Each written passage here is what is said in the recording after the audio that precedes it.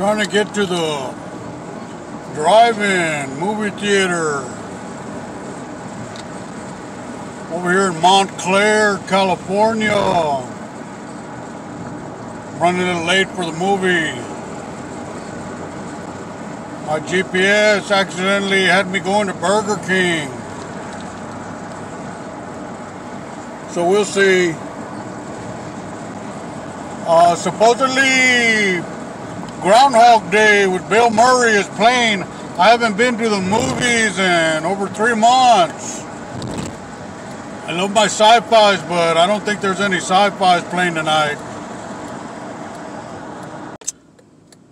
I don't have this in my notes of this day, but I do have this in my heart. I don't know the last time I've been to a drive-in movie theater. This is exciting. Oh my God. They said lane two right here. So you gotta follow directions and you also have to social distance while you're here at the movie theater. This is intense. I literally have not been to a movie theater in ages. It brings back a lot of memories.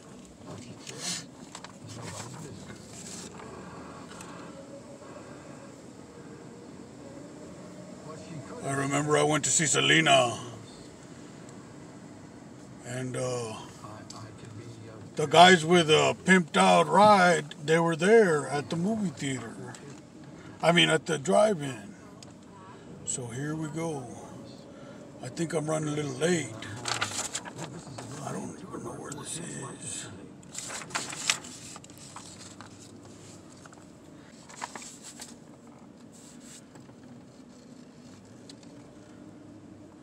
Different movie. This is it. This is it right here. Okay. Now you got a social distance. I don't know if it seems like there's a lot of bumps around here. Got a social distance.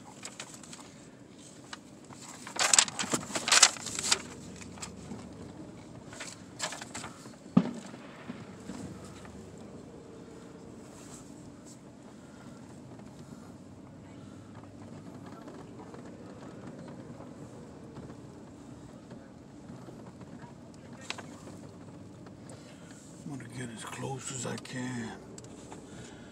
I love Bill Murray movies.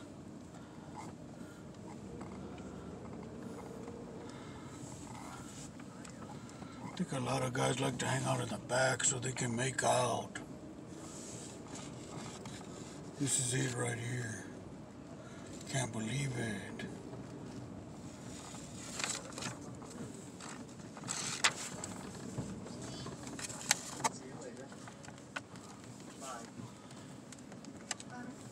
Will you be checking out today, Mr. Collins?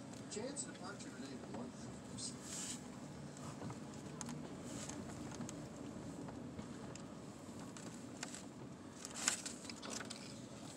Wow. This is it. Can't believe it. Wow.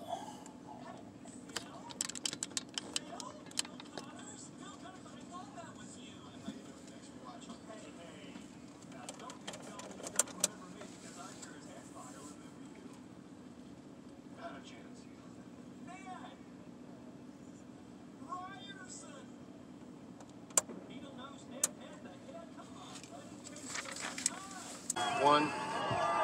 Once a year, the eyes of the nation turn to this tiny hamlet in western Pennsylvania to watch a master at work. The master?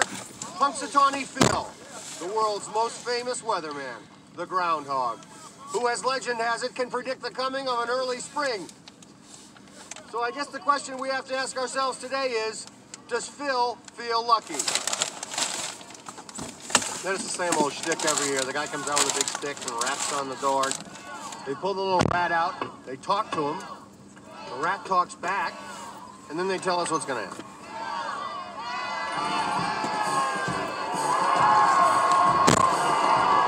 Now you can go back to Punxsutawney or you can go ahead and freeze to death. it's your choice. So what's it gonna be? I'm thinking. This is a good part right here. Hey, Phil? Phil? Hey! Oh, Phil Connors, I thought that was you. My, oh my, Phil Connors. Now, don't you say you don't remember me because I sure as heck fire remember you. Well, Ned Ryerson. bang! Oh, first shot right out of the box. So, how's it going, old buddy? Well, uh, to say the truth, Nettie, I'm not feeling real well. Would you excuse me? Well, you know, it's funny you should mention your health because you will never guess what I do now. Do you sell insurance?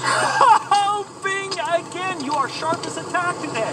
Do you have life insurance, Phil? Because if you do, you could always use a little more. Right? I mean, who couldn't? Be nice to your sister.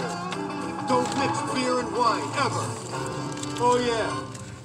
Don't drive on the railroad track. Well, Phil, that's one I happen to agree with.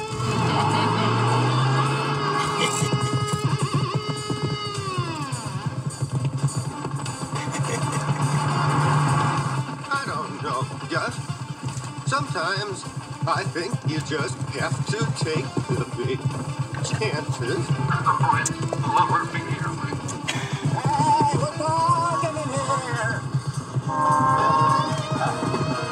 Phil? Oh, yeah, yeah, yeah. I'm betting he's gonna swear first.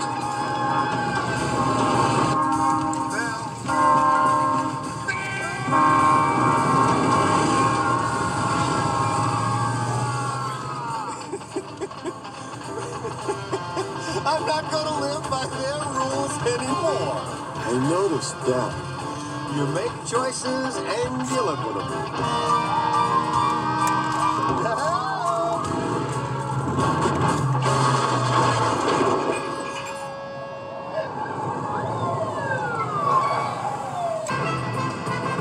Don't drive angry. Don't drive angry.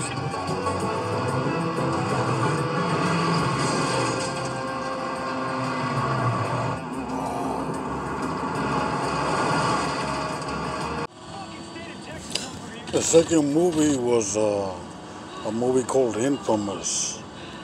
Uh, it's about two lovers, uh, young lovers, uh, who go bank robbing. And uh, basically, it's a lot like the movie Badlands with Charlie Sheen's father? Martin Sheen. Uh? I'm not saying it's a rip-off, but uh, it's like that. If it were like in modern times, but uh, I guess I'd say two jalapenos. And uh, I think that was the Invisible Man. All in all, it was a very eventful night. I was glad to make it to the drive-in, and uh, now that they're all, uh, a lot of them are open. Uh, just make sure to social distance.